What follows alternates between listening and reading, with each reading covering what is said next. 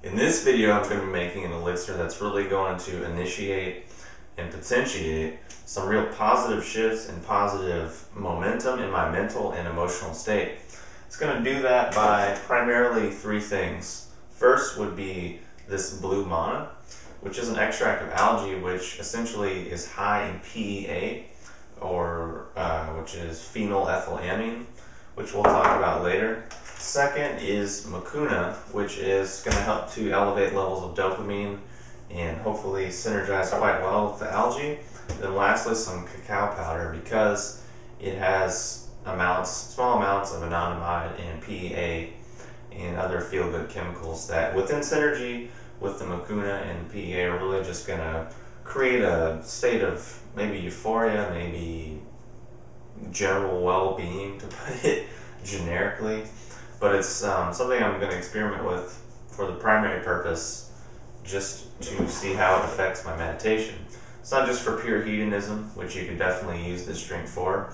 You could use it for more therapeutic purposes if you're feeling depressed, if you're feeling beat down, if you're feeling just sad. This can definitely work. So, in the blender, I already have 16 ounces of water, a few tablespoons of honey, or okay, real in reality, probably less than a tablespoon of honey, about a tablespoon of coconut oil, and a few tablespoons of soaked chia seeds. So, to start it off, I'll go ahead and just add a few squirts of the um, Ionic Trace Angstrom Minerals, just to add, obviously, minerals to the drink. And these are easy to incorporate into your drinks, whether that be a tea or pretty much any kind of beverage you're drinking because they don't really have a taste. Slightly salty would be an exaggeration, but it'll work in this drink because this is slightly salty and it has minerals. So the saltness will help round out the flavors and balance out the sweetness. So now we might as well just get to our heavy hitters here, which I had a spoon around here somewhere, which let locate that. I don't know where it went actually. So let's see. Just go ahead and uh, okay. Here it was. So now we're gonna go ahead and add the heavy hitters of this drink. So we're gonna start off with the blue manna, which uh, we'll add. Let's see, probably about third of a tablespoon. Let's about half a tablespoon of the blue manna, which is actually quite high. Let's see what the recommended dose is. Adults, a third of a teaspoon daily. Children, half of the adult recommendation. So I just took about half a tablespoon. So probably significant uh, magna, magnitude or exponential increase for the RDA. But I've done a lot of this stuff before. It's quite fun. It's pretty safe, and you can do it. Uh, one caveat here, one anecdote, is that you can get this stuff in the liquid form also in just I think an eight ounce bottle. I think that runs about thirty or so dollars.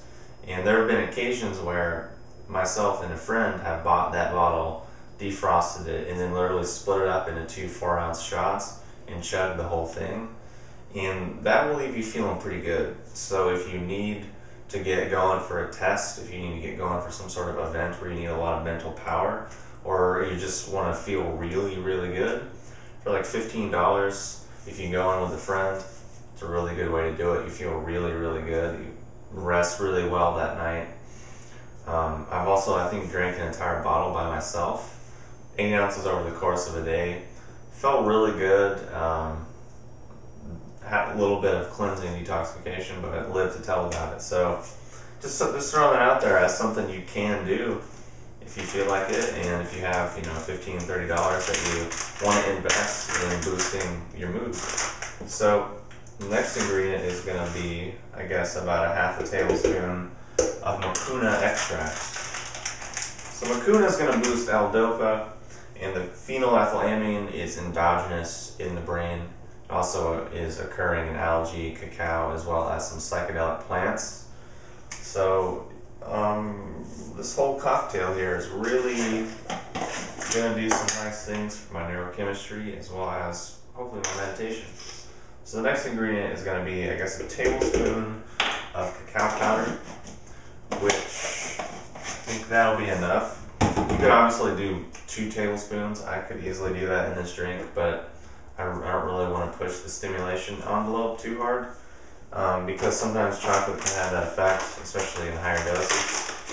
Um, depending on you know how sensitive you are, where you're at with your nervous system, etc. The next ingredient is, or was essentially about half a teaspoon of green stevia powder, just whole stevia ground up.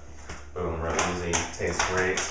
Helps to just balance the sweetness of the, the honey so that I can use less honey, add a little bit of stevia, and overall the whole drink ends up being a lot sweeter. So the next ingredient, the last ingredient, is going to be, actually, yes, full scoop of the uh, full processed native whey protein. And actually I lied a little bit because that wasn't the last ingredient. The last ingredient is going to be some vanilla bean powder, which I will get my hands on right now.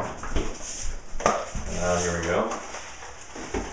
And yes, just a little nice tip, if you have, let's say, a big bag of vanilla bean powder like this,